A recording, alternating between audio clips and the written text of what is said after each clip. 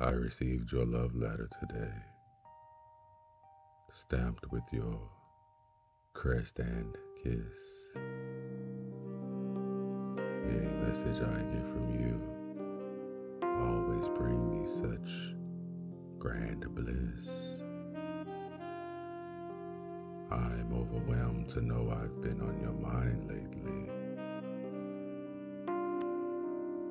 What a lovely spectator you the way you think of me. Since you wrote this, I will forever be honored to be a thought on your mind at that hour. With the hourglass in my mind, thoughts of you will always drain slowly. These notes aren't enough.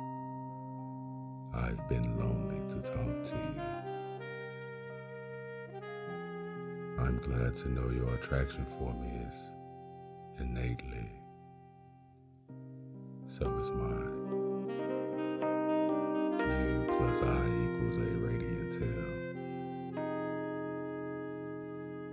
I wanted you before we met. My self esteem demanded it.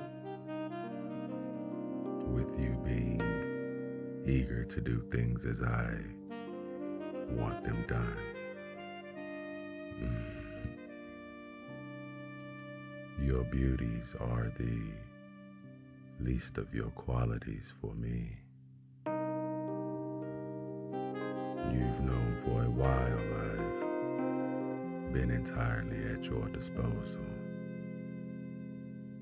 I know you've grown accustomed to it, me being exceptional and all. But how I enjoy these little things we do, these letters we share.